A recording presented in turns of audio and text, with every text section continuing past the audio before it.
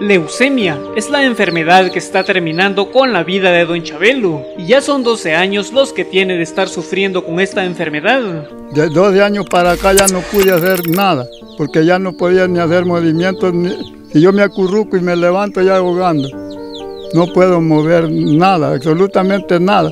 Más cosas pesadas no las puedo tocar porque me, me canso y ya no puedo, caigo.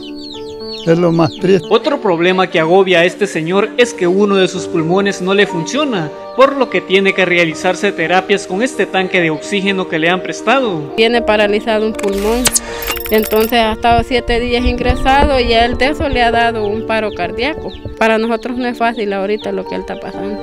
Yo estoy trabajando y yo le pongo lo que yo puedo.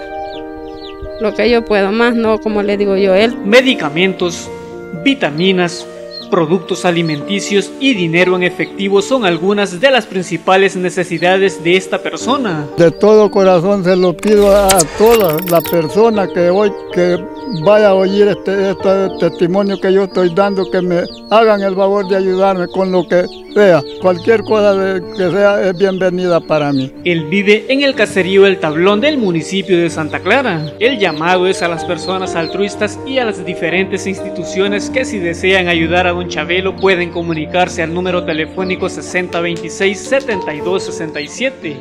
Este es un informe especial de Canal 31 en San Vicente para Telenoticia 21, Juan Martínez. Hasta que Dios quiera voy a llegar.